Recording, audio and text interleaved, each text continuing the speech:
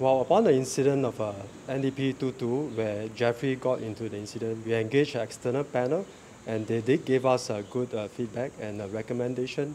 We're glad that there was no uh, procedural lapse.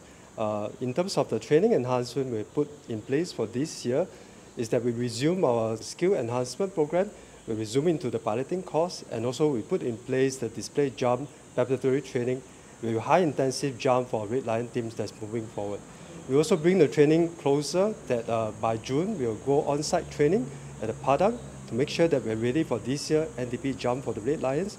At the same time, we expanded the landing zone at the Padang to include more space for the Red Lions to land for this year.